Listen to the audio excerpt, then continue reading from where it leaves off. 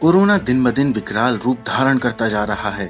बावजूद इसके, लोग इस जानलेवा वायरस के प्रति जरा भी गंभीर होते नहीं नज़र आ रहे हैं। रोज़ाना बिना मास्क के सैकड़ों लोग बेधड़क सड़कों पर घूमने निकल पड़ते हैं। लेकिन अब ऐसे लोगों को सीधा करने के लिए पुलिस भी सख्त रुख अख्तियार कर रही है।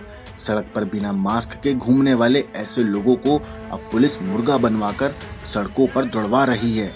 धनबाद के झरिया में एक ऐसा ही नज़ारा देखने को मिला, जहाँ जिला प्रशासन के उड़न दस्ते ने करीब आधा दर्जन लोगों को बिना मास्क के पकड़ा।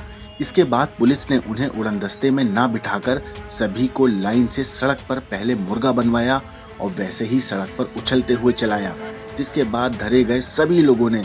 पुलिस को ये विश्वास दिलाया कि जब तक कोरोना का संकट इस देश में रहेगा, तब तक वो बिना मास्क के घर से बाहर नहीं निकलेंगे। जिसके बाद पुलिस ने सभी को हिदायत देकर जाने दिया।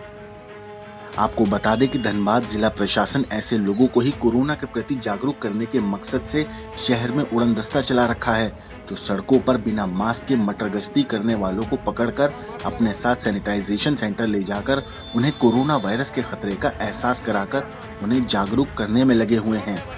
दिलासा देना एक अलग बात है, लेकिन सच्चाई से मुँह छुपाना एक हम खुद को इत्मीनान दिलाने के लिए कह सकते हैं कि ऑल इज़ वेल लेकिन यकीन मानिए, इस तरह सड़क पर बिना मास्क के घूमना और सोशल डिस्टेंसिंग का पालन ना करना, इससे आपको तो खतरा है ही, आपके परिवार को भी है।